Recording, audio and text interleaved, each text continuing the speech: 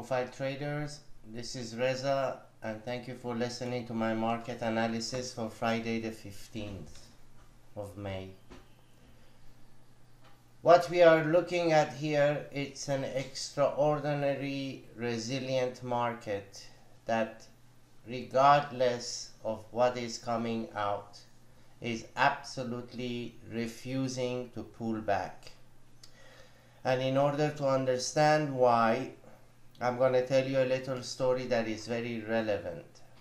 This past week, I met a 70 years old man, well into his retirement, not working and having any kind of a additional income.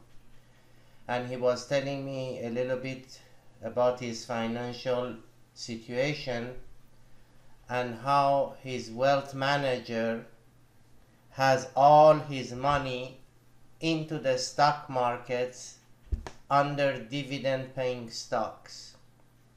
Then I came to a realization that if a 70 years old poor man, not poor, but speaking that he doesn't have choice, is now forced, literally forced, by a criminal Federal Reserve to take all his savings and put it into the rat hole casino of the stock market and you take him multiply them by hundreds of millions then you will understand that until there is no alternative for people to earn money more than blocking your cash in a bank and getting that scumbag one and a half percent.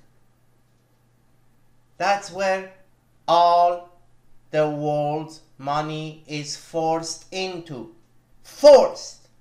So, as a result, good news is good news, bad news is good news, no news is good news, bad economic numbers is good news, good economic number is good news, everything is good news. Now all I know is that for the time being this orgy is sweet, this orgy is orgasmic, this orgy is phantasmic, a lot of people are having pleasure. But God forbid the next time that the big shoe will drop with this amount of cash and wealth forced into the stock market, i.e., forced into the pocket of select corporations, only I'll let you imagine the consequences of the damage we will see. And long story short, we learned absolutely nothing, nada, from the last crisis in 2007 2008 and thanks to this incompetent Federal Reserve and other politicians, we are making the same mistake back times 50,000. So for the time being, as I said, orgy must go on, no pullbacks until we remain above 2111. We should go test for the high level up there, 23 to 27 and if we break that I have already given you daily targets what to look for after that we're going to be looking for 2140 to 2150 and then we will have to assess because as you are seeing here we are making again almost record high but look at how much volume is lacking down there so God bless the greed, God bless stupidity, God bless Federal Reserve's orgy. All I can tell them is that you guys better not let not this bubble burst because your heads will be rolling on the next crisis after what you created artificially this time again into the stock market. Below 2111 then we are wide open to come test the low of this session here at 2103 and a half. And if we break that, then there is a POC down there at 2096. On the upside again, you need to clear this zone here. Once we clear that, 2140 to 2150 is my next upside objective. as for crude also it is holding its ground fine as we can see the, the, the drop has no drive in it it is a very slow motion labored move on the way down which is telling me that the probability of a retest of, of the high is very likely. On this retest of the high my resistance zone comes in at 6085 to 6130 that area should provide tremendous level of resistance for crude.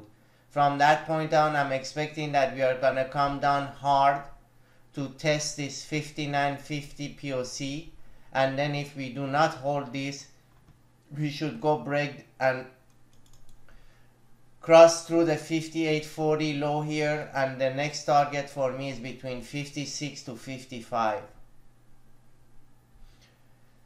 of course if we do break above 6177 the high that we have in place here then we have to assess the situation to see how we break it how much of a drive we have how much of enthusiasm we have behind it in order to decide if it's going to be a fake break and then a, an aggressive reversal down or if truly it's gonna break above 61 62 and then head for 65 i personally do not believe there is any shortage at all this is the exact same situation we had when crude was at 44, 45.